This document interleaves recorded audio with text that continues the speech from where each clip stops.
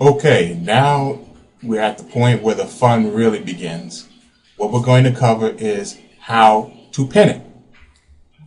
There are several different ways to pin, specifically three ways. One, you can pin a pin from a website. You can upload, you can upload a pin from your hard drive, or you can choose to repin something that's already been pinned on Pinterest. What we're going to do right here is let's do the first way I mentioned. Let's go ahead and go to a website. I'm going to go to one of my websites right here. Uh, I see this website right here, Houston Classified Ad. Now, you'll see up here, I have a pin it button. Now, when you set up your account, Pinterest also gives you some instructions on how to add that pin up button. It's pretty simple to do. It's not a hard thing. Basically, drag and drop, and then you can put it in there. It's really based on what what browser you have, whether you have Firefox, Internet Explorer, or Google Chrome, or, or some other type of browser. So I'm going to also assume that you've already done that, and you've done and you've um, you have your pin it button. So we're at my website or at any website. This can be your website or it can be any other website where you find something that you're attracted to or that you like. Now I want to stress one thing. Yes, you want to pin things from your own site, but you don't want to have that the primary focus. I would say maybe 10% of the pins that you would do, fine, do them on from your own website. But you want to have unique content. You want to have content from other places. So this is one way to do it. Like I say, it could very easily be your blog or, or a website. Maybe you're, you're selling soaps or you're selling perfumes or something like that. Or you have a, a consulting service, whatever it might be, you can go ahead and pin something. And what that'll do is create a backlink to your site. So now we're at, at this site, the classified ad website. I'm going to click on the pin it button. And as you see immediately what comes up is a bunch of different graphics. It found these graphics on here. Uh, I tell you what, I'll go ahead and pin this one. I'm going to click here and a window comes up and you might want to put in what area that it's in. I'll say free stuff because this is a free classified ad.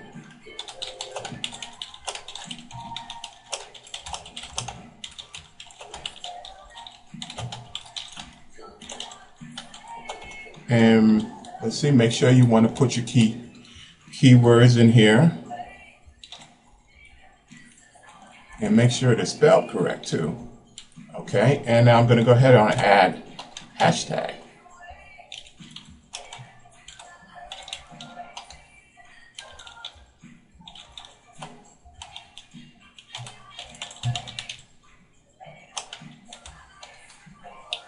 Okay, and I'm also going to click on, I want to put it on Twitter. Now, there's something that different, and you'll see that it happens when you want to put it on Twitter. Now, make sure you're logged into your Twitter and also logged into your Facebook account as well. So I clicked here and then send it to Twitter. So now I click pin it, and it also gives you a limit. I believe it's 500 uh, characters that you can put in this box. Now, because it's going to Twitter, you don't have to worry about going over that 500 character limit because what Pinterest does is they actually create their own URL, which will shorten it out for you.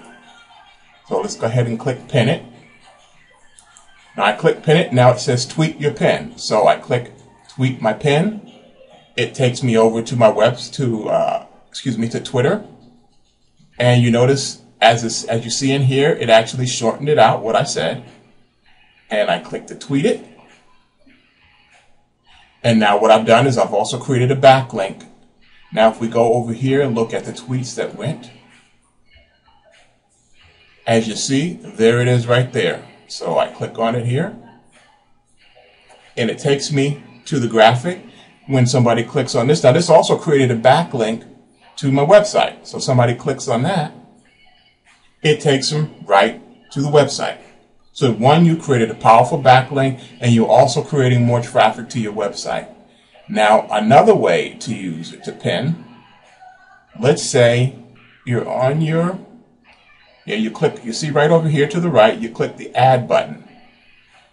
You can choose the add pin. Now, if you click add pin, basically you'll put in a web address. Let's see. I'll put in, let's see, flower, flowers.com. Just say putting something in there arbitrarily that there. And what it does is it'll look at that website and it'll pull up whatever kind of images or what images it can find. Ah, there we go. Found a, found an image right there. And I can click, as you see next, uh, it'll, it'll scroll the images and I can decide which one I want. And I'll say, okay, I'll go ahead and click that. You can choose to put a hashtag or not if you want. And you click it in the category, or rather the board that I've created, and we'll cover boards as well. And you can go ahead and click on the Twitter again. Let's see, I'll show you right here. Notice it does it again. Now notice this time when I told it to, to do it on Twitter, it didn't pop up that screen where I had to click it because I started out at the Pinterest board. And as you can see, there's it. Now let's say if we go to Pinterest,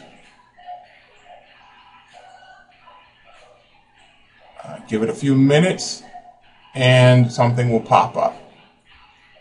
Uh, we'll come back to it. Uh, there we go, five new pins. Okay, sometimes it's a little delayed because the boards get really busy, but it'll come up in your stream. And also, if you notice over here to the left, this shows your recent activity. That shows people that are pinning your boards or following you or, or what's happening, and you can keep track of that as well. Now, there's also another way to pin. Let's say you want to upload a pin. This is when you can actually find a graphic, something on your board, on your, um, on, okay, nice pictures here. I'll pick out another flower. I happen to be in here, let's say, we'll, we'll put something that I'm pretty sure I didn't put up yet. We'll put this here. And now that's something that I've loaded from my hard drive. And as you see, it pulls it up and that's some kind of artwork.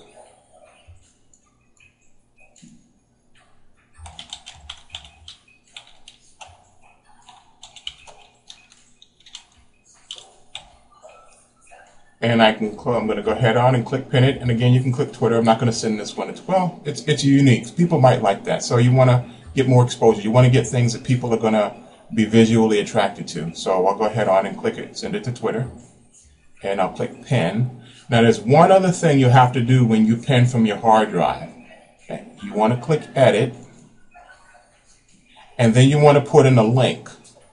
So you might want to put the link as to where it originated from, whoever where the original artwork from. Okay, in this particular case, because this is a public domain, I'm just going to go ahead on and link it back to my blog.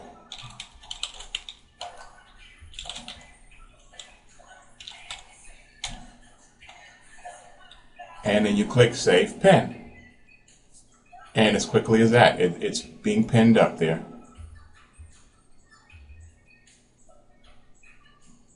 Okay, there it is right there. It pinned it up already. And you notice how quickly it's moving. There's six pins right there. I click the six pins and it scrolls everything else and it moves it down. Now, the other way to pin something is let's say you're on Pinterest website, Pinterest website, and you just happen to see something like you like. Okay, here's something lemon roasted peanuts. I'm gonna like it, and then I'm gonna go ahead on and repin it and put it in the board that I want, which I created, which was food I like. And as you see, it repinned it when these come out, when it shows them a reactive recent activity, it'll show that in their data. It'll show where. Now let me show you my board. We'll go to boards over to the right. And remember, it was in food that I like. So we go to, oh, I have here, food I like right here. Now notice too, these numbers that you see under here, it shows how many times the items in your particular board were pinned. See? And we'll discuss board arrangement because there's a specific reason to why I have the board arranged as it is. But we get into the food that you like.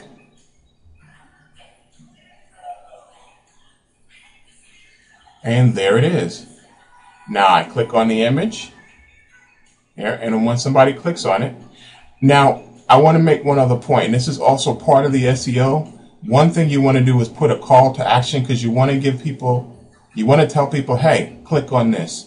But if you notice, whoever did this originally, they have the hashtags right there, and they also have the keyword, also lemon potatoes. And when I click on this, I bet you it'll go to a site that has the recipe on it. There you go. We're at Sweet Pea's Kitchen. So whoever Sweet Pea's Kitchen is, they just got another backlink created to their website, which will help their Alexa ranking, and which happens to be a blog. And there you have it. Basically, that's how you pin.